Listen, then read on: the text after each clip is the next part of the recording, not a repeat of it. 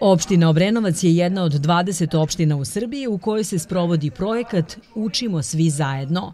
U okviru ovog projekta u ponedeljak 22. aprila u klubu za mlade održana je tribina o intersektorskoj saradnji radi pružanja podrške svim učenicima, uključujući i one iz osetljivih grupa.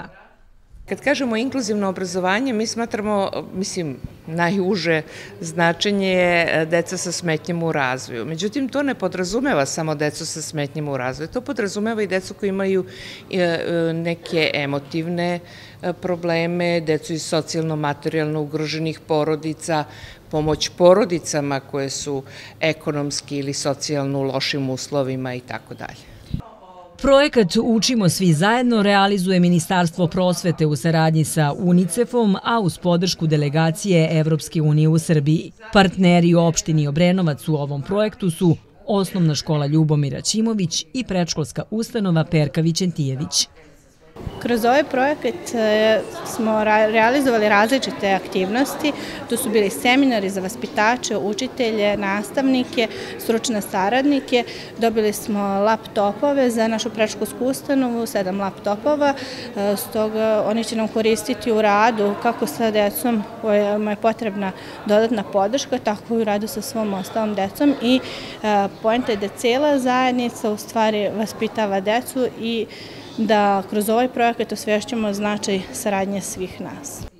Na tribini je istaknuto da je kvalitetno obrazovanje ono koje odgovara potrebama svakog deteta. Sa tim u vezi u našoj opštini će biti oformljeno intersektorsko telo koje će se baviti inkluzivnim obrazovanjem.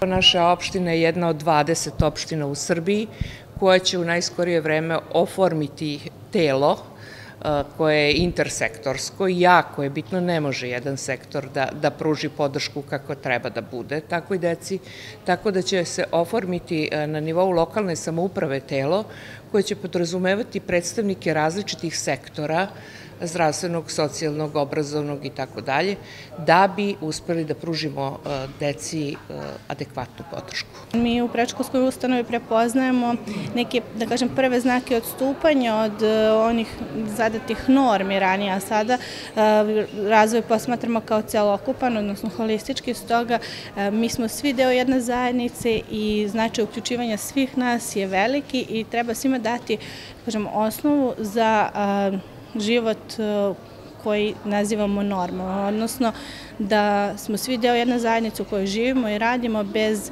ikakvih e, ograničenja.